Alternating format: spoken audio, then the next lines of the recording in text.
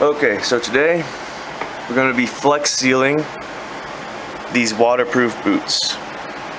I wouldn't really call them waterproof because I step in water when they're brand new and uh, don't go above the ankle here and uh, my feet still get wet.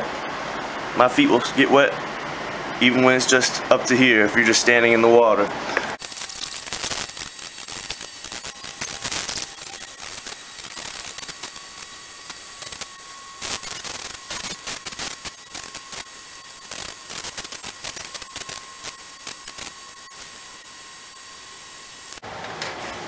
Okay, pair of boots number one has been flex sealed.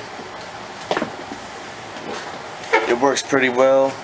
Uh, water does seep in, but it takes some time, and you'd have to be standing in about uh, six inches of water without it uh, going up above the seam. So uh, now we got some uh, Gorilla Glue, waterproof patch and seal, rubberized sealant spray and uh, we're going to now do the same exact brand of boots, same exact model boot. Here we go. Make sure you get all your nooks and crannies, cover up all the eye holes where you uh, lace your boots up, cover up any uh, side zippers, anything like that so uh, you can still access it and not have it be a mess.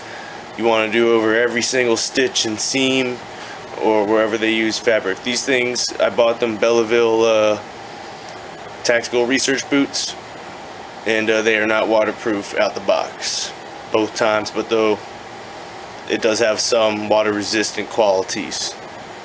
So we're gonna make it waterproof now. Give it a good shake